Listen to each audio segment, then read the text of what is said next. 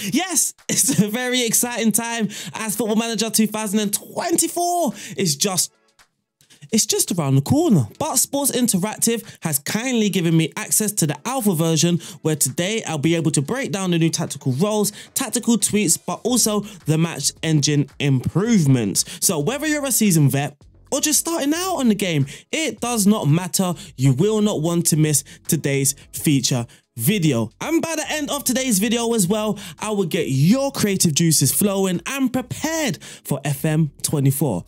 Do you think you're ready? Do you? Hmm. We now have the inverted fullback, slightly different to the inverted wingback. Defensively, the inverted fullback will function more like a standard fullback. However, while a fullback would offer width to the attack, the inverted fullback will look to tuck inside after the build-up phase, acting like an additional central defender. As a result of this movement, the inverted fullback will not seek to make overlapping attacking runs as often or to deliver crosses from higher up the pitch. Instead, they will focus more on providing defensive stability against counter attacks. Now, like I mentioned, this role is different to the inverted wingback. Of course it is, otherwise they wouldn't have added it into the game. And the only duty available for this role is defend. When building out from the back, they will transition from fullback to central defense, adding an extra central defender and rarely moving forward to support attacks. This strategy can help create early overloads while building out from the back. Most possession-based preset tactics will now include this new role, and you may also spot possession-based managers employing this tactic against your team. Therefore, be cautious of these tricky maneuvers. The Match Engine team recently made some changes to the game and you can now use a libero in a back four as well. Think John Stones moving from the right side of the central defense into midfield in real life.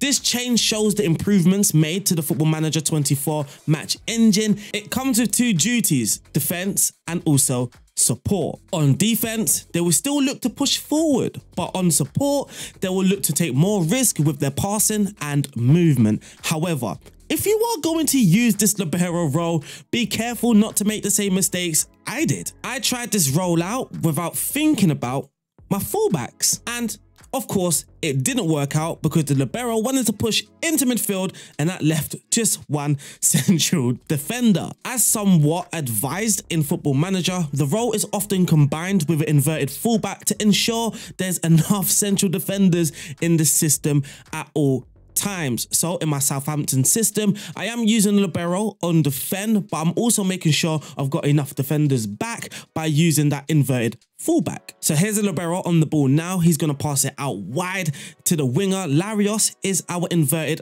fullback. So the two players are kind of highlighted, Stephens and Larios. So here is the fullback on the ball now, plays it down the line to the winger. Smallbone's on the ball, but you can see the libero, he's pushing forward as he does Larios. Our fullback has moved inside alongside the centre back and that was a good chance. This is from the same game, but of course, it's a different build-up situation. In football, not every situation is going to be the exact same. So here's Smallbone back to now our inverted fullback, but now you can see how deep and narrow he is. He's almost playing alongside that right side of centre back. Not almost, he literally is. And our libero has stepped into midfield to form a double pivot with our actual pivot player. Now, we've originally got two pivot players, but one has moved forward, allowing that space for our libero to push forward. We've spoken about how positional play has been improved in Football Manager and how now you will notice more fluid movements from players in certain roles, which can help you progress the ball forward.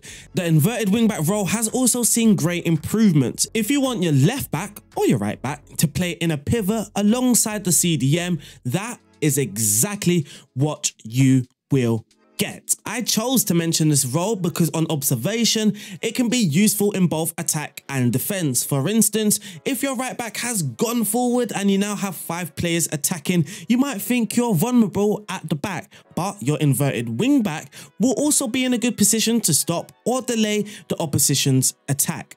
In short, we can all play like Pep Guardiola now. Okay, I'll stop with the licensed Manchester City comparisons. there has been some significant changes made to the winger role and also the wingback role that are worth noting. Previously, the winger role was limited in running wide with the ball, but now you can choose to ask your winger to cut inside with the ball. This is brilliant. This is a brilliant new feature that allows your right winger or left winger to hold their width like a traditional winger during the build up and attacks, but then cut inside with the ball towards goal when they do receive the ball at feet rather than continuing running down towards the byline. Similarly, the wingback role allows you to do the exact same thing. Yes, you can ask your wingback now to cut inside with the ball. How great. How brilliant. Now, these new fancy roles and tweaks are incredibly helpful, but there is one golden rule that you must know, and it's very important. Central positions, such as central defense, defensive midfield, central midfield, and attacking midfield, they are designed to have maximum of three players occupying on the same line. This means the central defense strata can have a maximum of three players occupying that space. Put simply, if you have three defensive midfielders on support, there is now no room for your libero to push forward into this area that you want your libero to do because that would mean there's four players, which is, I'm sorry, way too much. But now, if I do change my left-sided defensive midfielder to a Segundo Volante on attack, for example, in play, he's going to be looking to do this. Vroom, vroom, get forward. This now leaves space for our libero to push forward into that defensive midfield area. And now, again, this makes three the maximum. The maximum of three players can occupy this line. Important. So here are the roles that do trigger those rotations. In defense, the inverted wingback will move from fullback to defensive midfield. The inverted fullback, which is a new role, will move from fullback to central defense, and the libero would move from central defense into defensive midfield. Now, moving into the midfielders, the halfback will move from DM to centre back. Now, the halfback also had a nice little tweak as well. Your halfback now will look to move into this sort of space here between your left back and your left sided centre back. So, tactically, if you have your left back moving forward, from going forward, your halfback can now drop in and cover. And again, it can make a nice, beautiful back three.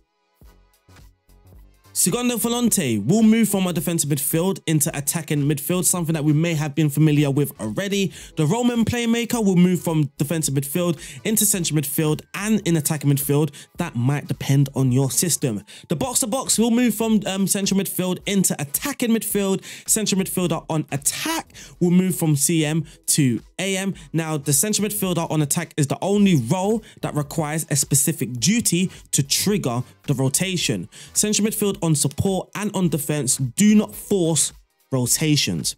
Advanced playmakers like to move from central midfield into attacking midfield and the Mezzala will go from central midfield into attacking midfield. Here's some other important notes that you must digest when looking to create your tactic in FM 20 for another one. In this system here, my defensive midfielder, Segundo Volante, is on attack and he's looking to move into attacking midfielder. He would operate this right half space, but your central attacking midfielder, he wouldn't just stand there in the middle. No, no, no, no. He's going to shift over nicely as well, and he's going to occupy the left half space, all a part of positional play. And now you can occupy each zone. You've got the left flank, the left half space, the striker occupying the center.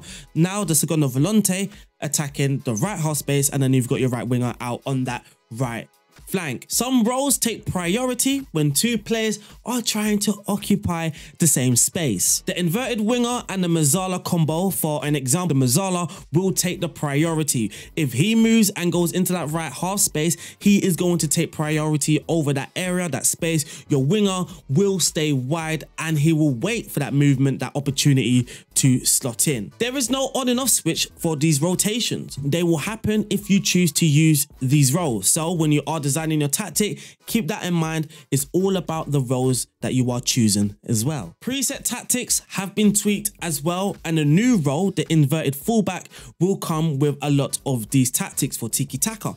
Example, you can see here in the 4-3-3, if I confirm it, the inverted fullback is already selected and he is now he's going to be a main figure in this new game. Lastly, this was an observation that I made and around my second third game actually playing.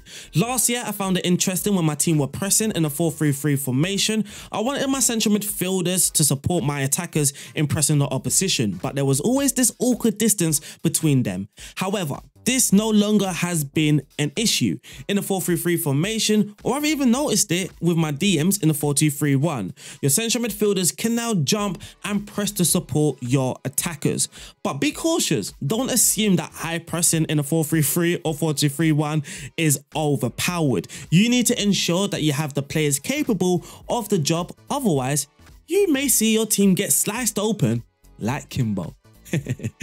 Unfortunately though, that is the end of today's video. Make sure you go and check out the other Football Manager content creators, especially Omega Luke, because there might just be a secret in there as well. So make sure you go and check it out. Go and check out everyone's video. Thank you to Football Manager for allowing me to have this early access of the alpha version. I'm going to stress that, the alpha version. And I shall see you guys